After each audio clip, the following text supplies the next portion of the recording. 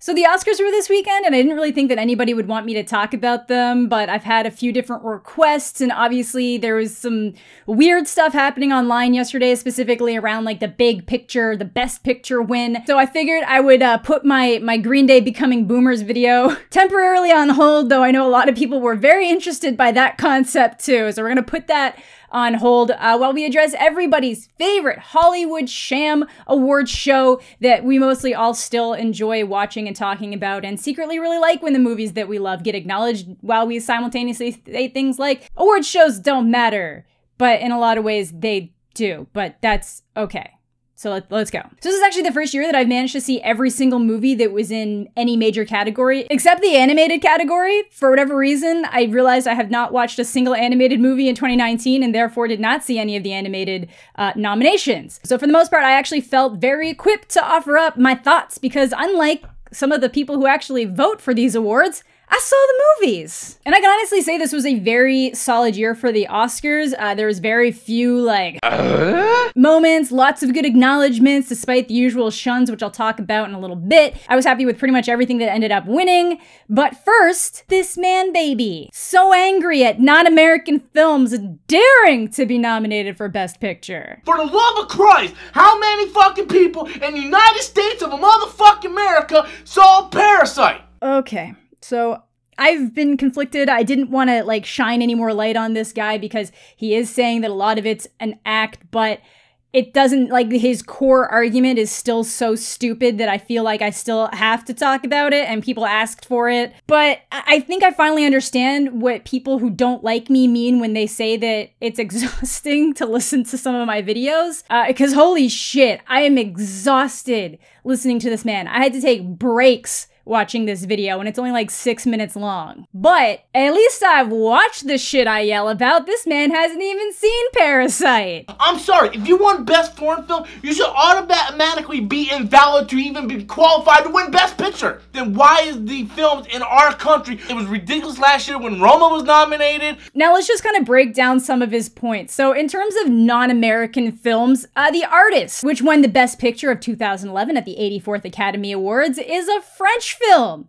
It's not American. It's not even British. It's French. I don't remember this kind of energy back when that won. Obviously, every year when the Best Picture wins, there's complaints, but it usually doesn't have to do with not being American. And even if we look at this year and this man's diatribe that included 1917 being a fine choice because any of the other American films going through a bunch of things mentioning 1917 would have been fine choice for Best Picture. 1917 is a British movie about British soldiers. I get that there's like a whole weird thing where it's technically not, it's not a foreign language film, but it's not an American film. I get that. And then we kind of have to note that this was actually the first year that that category is not called foreign language film. It's the international film category. So that implies anything not American. I don't think the rules changed, so I still don't think something like 1917 would be eligible for that category. But I definitely think those rules are going to change somewhere down the line, and it might be because of that title change. It's going to give them more leeway. Sadly, the change just kind of leaves things like The Farewell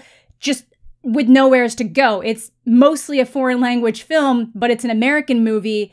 Where where does it get nominated? The foreign language area would have been a really logical place to put it, but it's not foreign language anymore, it's international. And then you might see the same thing happen this year with Minari. But that change of title should technically make something like 1917 eligible for that category, but again, rules didn't change. That's an Oscar problem still doesn't offer you any support on the weird ramble that you went on. Uh, so even if we just focus on his central point that he's stating his, his central point was if it was nominated in the Best Picture category for a different area, it should not be nominated in the overall Best Picture category, which is dumb on a couple different levels. That multiple categories thing, for one, is dumb. Uh, animated feature, I believe, was in 2002 when it was given its own separate category. But since then, we've still seen movies like Toy Story 3 and Up get nominated for Best Picture as well as Best Animated Feature. They, of course, did not go on to win the Best Picture, but they were still nominated in that that category because they were some of the best movies of the year. And I honestly would have been happy to see Into the Spider Verse nominated for Best Picture at last year's Academy Awards. And he even completely ignores that because he mentions the animated category being its own thing and then just totally disregards the fact that those movies were nominated for Best Picture different years. There's a reason why they made the best animated category. Like, what a turnip. Again, taking a look at this year, Honeyland was nominated in both Best International Feature Film and Best Documentary. Is it ineligible for one or the other because it's it's already been nominated in one of those categories? Or do you not care about those categories? Movies get nominated in multiple categories and multiple like best of categories all the time. And it's just really interesting that this is now when you decide to complain. Like these side categories aren't intended to exclude movies from these larger awards. It's to give the chance for things that are worthy of recognition that the average moviegoer might never be able to see, the chance to show the world their craftsmanship. Sometimes these stories are going to show us lives that we can't even imagine dreaming, and other times, like with Parasite, it can show us social issues that just transcend language, culture, and they're just universal to all of us. And that's why it's done so well. If Parasite wasn't your favorite movie of 2019, that's totally okay. I'm still upset that France didn't send Portrait to the Oscars. But Parasite and Bong Joon-ho's category in general are truly special. He's a master at what he does. It's just been a joy to watch him succeed this year. And if you're upset that your pick didn't win, that's totally okay. Just don't be like this guy who literally described the plot of Parasite when he was describing the Joker and said that those were the reasons why Joker deserved to win and why Parasite shouldn't even be acknowledged. What is more important to our culture than the Joker? About a movie that talks about mental illness not being taken care, taken seriously, about how people in high places look down and frown upon the poor, the poverty, and people with mental illness, and how we need to take this more serious. But no, forget all these fucking social problems that Joker touched upon. Let's have a better woke agenda. It would be funny if it wasn't so exhausting. Like, watch the movie, man. At this point, you probably still won't like it, but at least your diatribe would have had some kind of validity behind it. He keeps trying to clarify that he doesn't have a problem with Parasite, but it sounds like you had a problem with Parasite, man. You literally started the hashtag fuck Parasite on Twitter. Calm down. And like I said, I watched him try to defend himself last night, and it just made me want to put my head through a wall. Editing Amanda here. I just want to say that as I was editing this video, I noticed that Critikal uploaded a video about this guy, and he went way more in detail, like going through his video, so you should definitely check that out. Dude is very funny. I don't think he made good points. I see what he's trying to say, but I think he's just wrong about it. And the fact that he just decides to toss in a bunch of buzzwords while drunkenly slurring his way through six minutes of inaccurate information just doesn't help it. I've seen people make that argument, at least in a more logical way. And obviously, the Oscars, the way they work, are never going to be perfect. Like, I'm sure people have problems with the fact that there's separate categories for female actors and male actors. Uh, I like it because it just gives more people a chance to shine. But obviously, we're now seeing the debates for maybe there should be a separate category for female directors as well. Obviously, there's going to be all these debates. It's going to suck, and there's really no way to come up with a solid answer. But the way that he was arguing it made absolutely no sense, and he contradicted himself so many times in this video and just had so much wrong information that I just can't remotely give him the chance to take him seriously. This was nominated and won in both categories because it's actually just that good. Honestly, there's only one movie, in my opinion, that I didn't agree with having nominated for Best Picture at all Ford v Ferrari, which I liked, by the way, but. No. People like this make it hard to have genuine discussions about the Joker because you feel embarrassed for liking the same things that they do. Why can't the best movie win the best picture? It did, man. It did.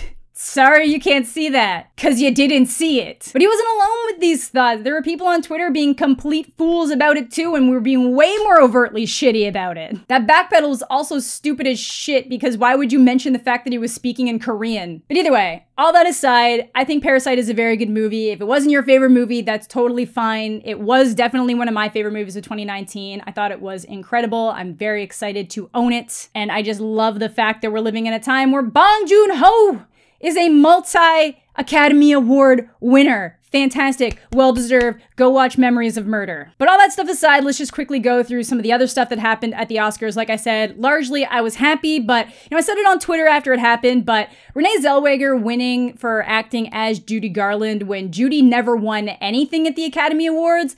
Sorry, she was honored with an Academy Juvenile Award at one point, But Renee winning is just one of the perfect examples that the Academy loves things that honor film over film itself a lot of the times. This is why you see biopics succeeding a lot of the time, why you see these, uh, you know, portrayals of actual people succeeding a lot of the times. I'm not saying that she didn't do a great job. I just personally would have given I would have given the award to someone else. The editing for Ford v Ferrari was great, but again, I would have preferred seeing it go to Marriage Story or Once Upon a Time and wait, Marriage Story wasn't even nominated? Okay. Uh, now, I was surprised, uh, as many people were, that uh, JoJo won for adapted screenplay, as I mentioned in my own Jojo Rabbit video, and I loved Jojo Rabbit. I had such a great time with it. It was essentially adapted from his mother's description of the book she was reading, which I thought was really interesting, but I was still genuinely surprised that it won. Like, I was happy to see it, but I honestly thought that Little Women or The Irishman had that award in the bag. And honestly, nothing beats this video of Taika shoving the award under the seat in front of of him. Parasite for original screenplay is also no surprise. I would have been happy with literally anything in that category winning other than 1917 because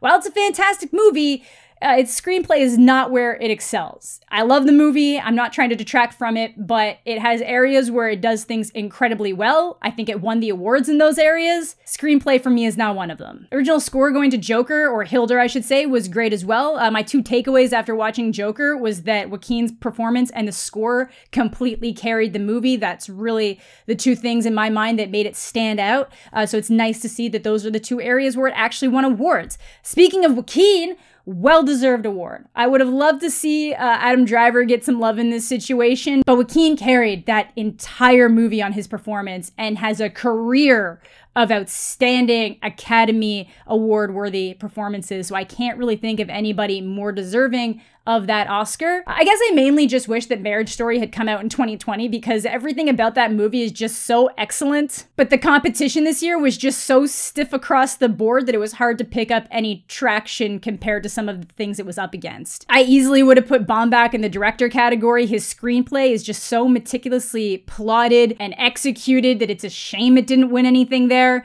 The performances were all absolutely incredible. And for a story that I literally had nothing to relate to at all. I'm not married. I'm not getting a divorce. I don't have kids. My parents aren't divorced. I don't have any connection to that tug of war parenting lifestyle. But this movie still managed to hit so hard, which is the mark of great entertainment or a great film. He did everything so perfectly perfect that it's kind of sad that the only award it managed to pick up was supporting actress with Laura Dern. Not undeserved, just kind of sad, which is why I wish it had come out in 2020. Uh, in terms of other big snubs, in my opinion, Adam Sandler not getting a lead actor nomination is just insulting. The Safdies made the most uncomfortable, tense movie in history. I think I've described this as being like two hours of Scott's Tots, and the Academy is like, that man has made poo poo and snot jokes. He is not Academy material, and that's just upsetting. I loved his acceptance speech at the Independent Spirit Award, though. Hello, my name is Adam Sandler. Their handsome good looks will fade in time, while our independent personalities will shine on forever. I would have loved to have seen Shia nominated for supporting actor in Honey Boy, and it actually seems criminal that Willem Dafoe was not nominated for supporting actor for Lighthouse. I know that the Academy typically disregards horror in general. A lot of the times it did get a cinematography vote, but that performance was fantastic, and it's sad to see that it did not get nominated. Uh, it also sucks that no one from Parasite was nominated for their incredible acting. Uh, and I've already gone on my Portrait of a Lady on Fire tirades, but again, that's France's fault for not even submitting it. Personally, I'd love to see the Academy add like a breakout category where things like Honey Boy and Alma Har'el specifically likely would have been featured. So yeah, those are pretty much my thoughts. The anti-parasite stuff is really weird to me considering most of the detractors don't seem like they've actually seen the movie. Again, if you legitimately didn't enjoy it, that's okay. Not everyone's going to like everything, and that's the beauty of entertainment. Thank you all so much for watching. Let me know what you guys are thinking in the comment section down below. I hope you all have a fantastic day, and we'll catch you all later.